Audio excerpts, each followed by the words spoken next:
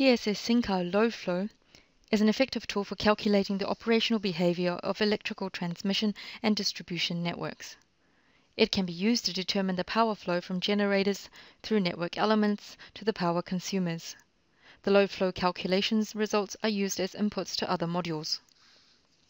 To see this, load the example network, example LD, from the SINCAL installation. Load flow settings can be found under Calculate, Settings, in the tab Load Flow. Every load flow problem involves solving a system of nonlinear equations, which are solved through numerical methods. As network behavior can differ, PSS SINCAL offers different calculation algorithms to find the best solution.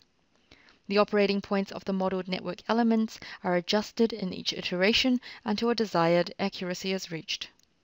The maximum number of iterations can be set and a pre-calculation to evaluate a solution even for wrong input data is available.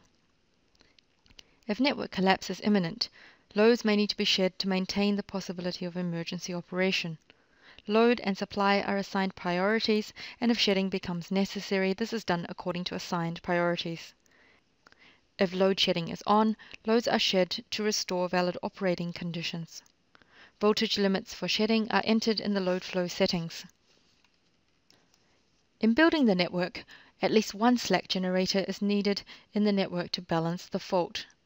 This slack infeeder prescribes the voltage at a node and fulfills a balancing role allowing power to be a result of the load flow calculations. Multiple slack generators are allowed. In case of islanding conditions, PSS SINCAL offers the option of switching the strongest generator over to a slack to provide the isolated network with power separately. Loads in PSS SINCAL are modeled as being one of seven different load flow types and combinations of these. How the load is to be entered in PSS SINCAL depends on the networks and the available data. More than 15 different ways are allowed. Motors, including NEMA models, can be modeled more in depth. DC equipment like solar generation, wind or batteries are also modeled separately in PSS SINCAL to reflect their specific behavior. To perform load flow calculation, click Calculate, Load Flow, Standard. Selected load flow results are now shown on the graphic. PSS SINCAL provides many powerful tools for visualization of results. To clearly see the network condition without reading numbers, the network results can be color-coded. For example, nodes can be coded according to voltage, with voltages between 97 and 103% colored green to signify acceptable values, and voltages outside this range colored red Utilization for branch elements can also be coded, where red signifies values over 90%, yellow values between 50 and 90%, and green values below 50%. Activate the filter function to see the visualization of results. After performing a load flow calculation, PSS SINCAL provides ISO area, a useful tool for visualizing the results. Click Tools, ISO area to open the dialog box. Select Load Flow VVN in the visualization type. Adjust the color range and other settings. Now click OK. This powerful visualization tool gives the planner an immediate visual overview of the power consumption across the network, useful especially for large networks. In this example, network areas displaying undervoltages can clearly be seen in blue. PSS SINCAL's visualization tools give you the capability of highlighting the for you critical network elements or operating states in a flexible user-defined way. PSS SINCAL can perform load flow calculations on balanced and unbalanced systems. To get a single-phase current running, the star points of generators and transformers have to be earthed. Zero-phase sequence data for network elements needs to be entered.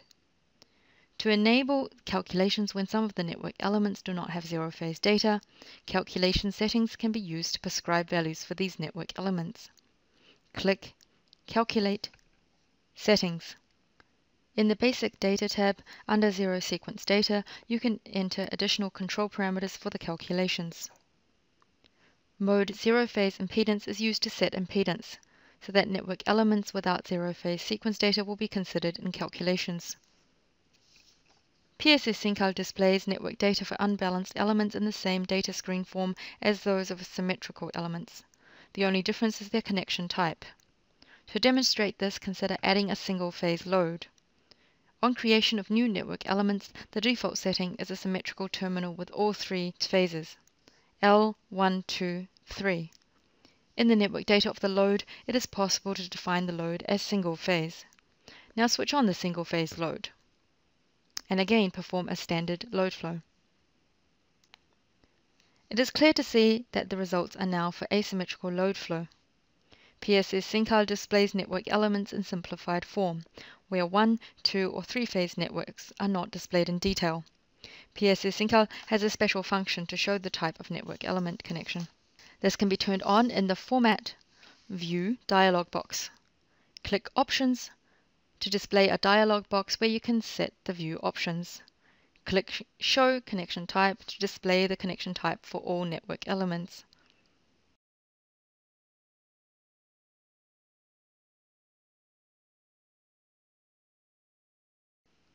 Also, four wire, load flows can be modeled in PSS Sincal. Here, the return conductor and the transition from the return conductor to ground can be modeled. The grounding impedances can also be modeled. The modeling of the return conductor is done with lines. Either the zero-phase sequence can be defined as before, or the data of the return conductor are defined directly. This is done in the section zero-phase sequence. To model the connection of the neutral points of the network elements to the return conductor or to the ground, the neutral point impedance is available. The neutral point impedance can be assigned to generators, transformers, and even to nodes and bus bars.